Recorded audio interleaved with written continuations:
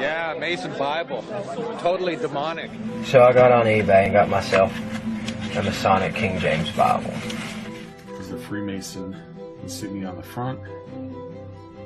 But what really shocked me the first time I picked this up, Sun God, Ra,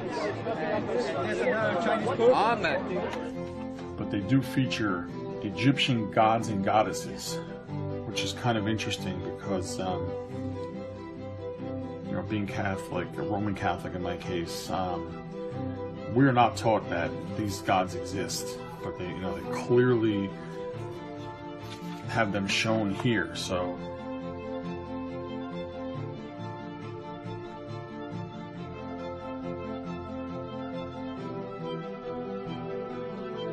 Now just go to the pictures in the back.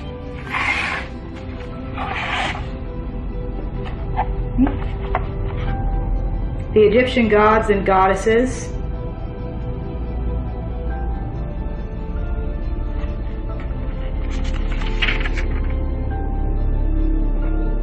More Egyptian gods and goddesses. Babylonian crap mixed in here. I thought this was interesting.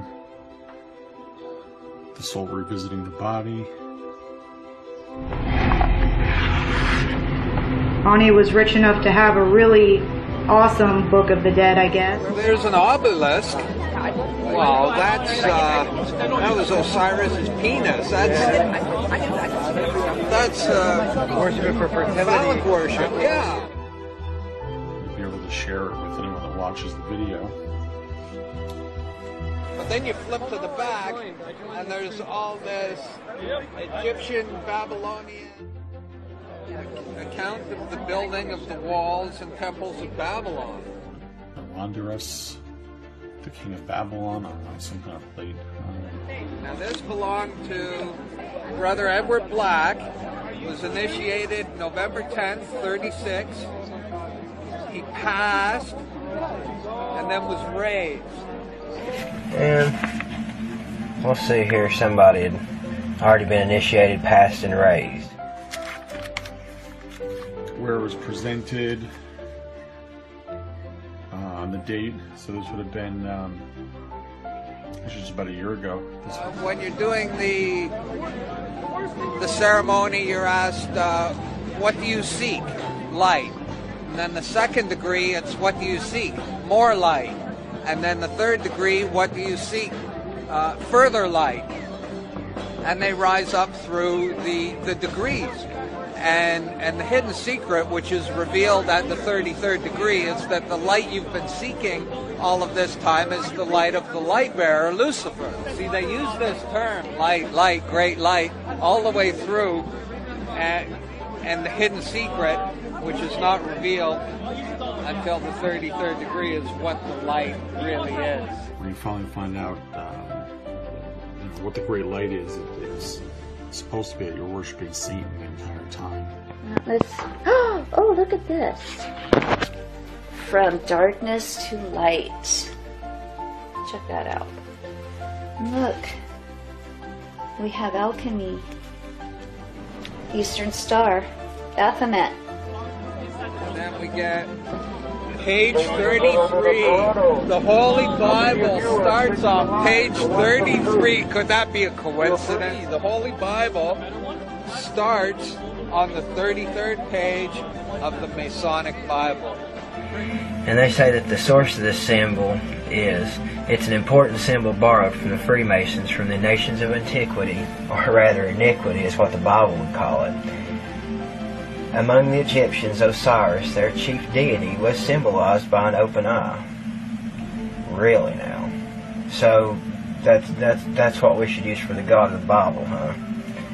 Sounds like Baal worship, guys. The eyes of Jehovah are in every place, beholding and watching the evil and the good. It is the symbol of omnipresent deity.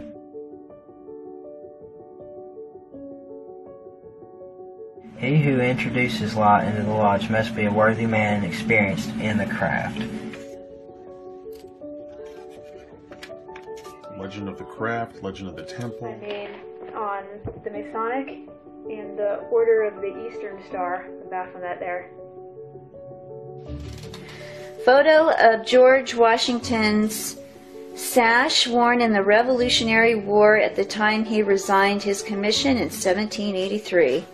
Oh boy. The building of Solomon's Temple. Oh, look, this is George Washington's Masonic apron. Oh, look at that. George Washington. Okay. Oop, Thomas Jefferson. James Madison. Check it out. James Monroe. Andrew Jackson. Here you have Masonic presidents of our country. Masonic presidents. I'll zoom in here so you can read a little bit better.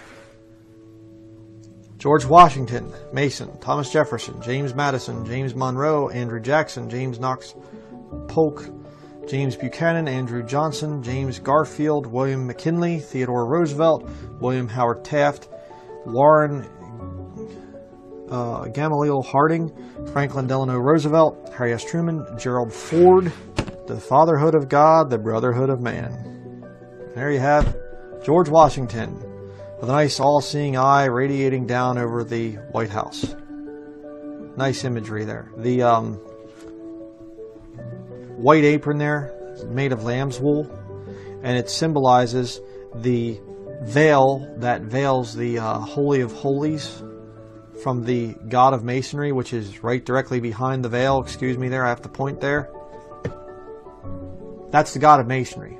You see the square, you see the compass, you know, this this thing here, right there, the G in the middle, does not stand for God. It does not stand for geometry. It stands for generativity. It is a sex symbol. Okay?